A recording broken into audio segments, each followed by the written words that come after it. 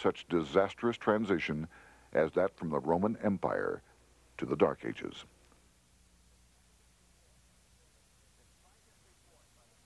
Despite this report by the Silver Commission, Congress took no action.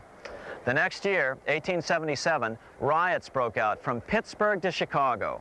The torches of starving vandals lit up the sky. The bankers huddled to decide what to do. They decided to hang on. Now that they were back in control to a certain extent, they were not about to give it up. At the meeting of the American Bankers Association that year, they urged their membership to do everything in their power to put down the notion of a return to greenbacks.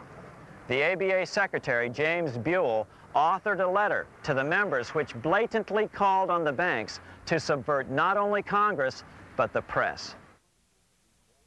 It is advisable to do all in your power to sustain such prominent daily and weekly newspapers, especially the agricultural and religious press, as will oppose the greenback issue of paper money, and that you will also withhold patronage from all applicants who are not willing to oppose the government issue of money. To repeal the act creating banknotes or to restore to circulation the government issue of money will be to provide the people with money and will therefore seriously affect our individual profits as bankers and lenders. See your congressman at once and engage him to support our interest that we may control legislation. As political pressure mounted in Congress for change, the press tried to turn the American people away from the truth. The New York Tribune put it this way on January 10, 1878. The capital of the country is organized at last and we will see whether Congress will dare to fly in its face. But it didn't work entirely. On February 28, 1878, Congress passed the Sherman Law, allowing the minting of a limited number of silver dollars, ending the five-year hiatus.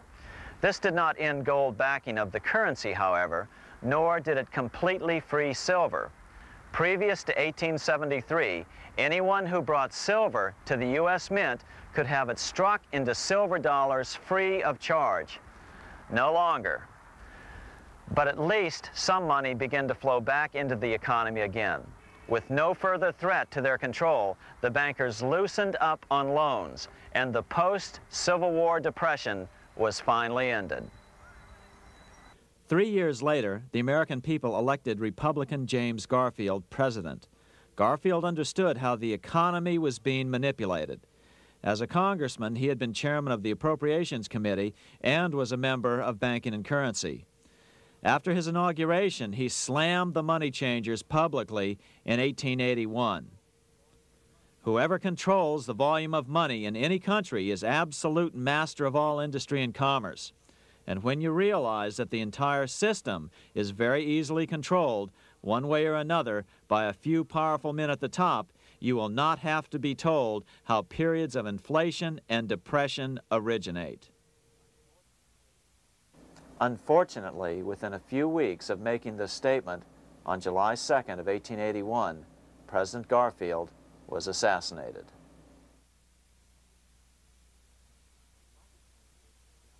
The money changers were gathering strength fast. They began a periodic fleecing of the flock, as they called it, by creating economic booms followed by further depressions so they could buy up thousands of homes and farms for pennies on the dollar. In 1891, the money changers prepared to take the American economy down again, and their methods and motives were laid out with shocking clarity in a memo sent out by the American Bankers Association, the ABA, an organization in which most bankers were members. Notice that this memo called for bankers to create a depression on a certain date three years in the future. According to the congressional record, here's how it read in part. On September 1st, 1894, we will not renew our loans under any consideration. On September 1st, we will demand our money.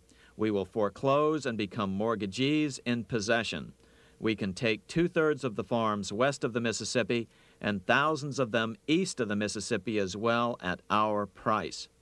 Then the farmers will become tenants, as in England. These depressions could be controlled because America was on the gold money standard. Since gold is scarce, it's one of the easiest commodities to manipulate. People wanted silver money legalized again so they could escape the stranglehold the money changers had on gold money. People wanted silver money reinstated, reversing Mr. Seyd's Act of 1873, by then called the Crime of 73. By 1896, the issue of more silver money had become the central issue in the presidential campaign. William Jennings Bryan, a senator from Nebraska, ran for president as a Democrat on the free silver issue. At the Democratic National Convention in Chicago, he made an emotional speech which won him the nomination entitled Crown of Thorns and Cross of Gold. Though Bryan was only 36 years old at the time, this speech is widely regarded as the most famous oration ever made before a political convention. In the dramatic conclusion, Bryan said,